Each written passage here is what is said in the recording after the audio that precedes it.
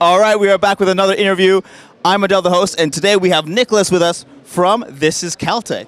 Yep. Nicholas, how are you doing today? I'm doing great. Thanks for having us out here. Absolute pleasure. Um, you did you fly in from California or the, or the states for this event? We flew in specifically this event and Leap in Riyadh next week. Wow, this is huge. So tell us about tell us what is it you're building here? So we're not building. We're part of. We're California Institute of Technology, Caltech. If you've seen The Big Bang Theory, that's us. We're the executive education professional studies wing called the Center for Technology and Management Education.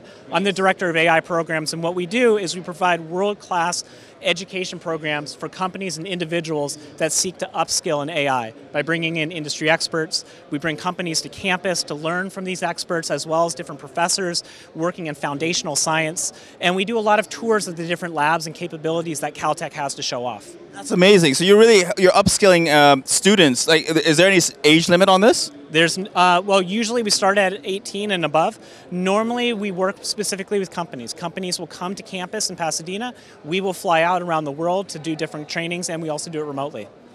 Got a question for you. Is AI scary? I think depending on how you define it is your own interpretation of if you find it scary or not. Right. There are some cases of it being like um, scary in the sense that it's, it listens to your conversation and it may put out very personalized recommendations. But what does it do with that data? And that's is that a subject of concern? Absolutely. When it comes to the ethical standards of AI governance, that's something we teach very specifically in our courses. Responsible AI is something that impacts all of us and is something we specifically address in our courses. So for those who are learning and aspiring AI experts, what would be your message? My message is continue to upskill throughout your career. Wonderful. Thank you, Nicholas, for your time. I appreciate it. Thanks for having us. Thank you so much for watching. Hope you found this insightful. We'll leave all the links in the description so you can check out Nicholas's profile as well as Caltech. Thank you again. I'm Adel, the host, and I'll see you next time. Cheers. Web3.tv.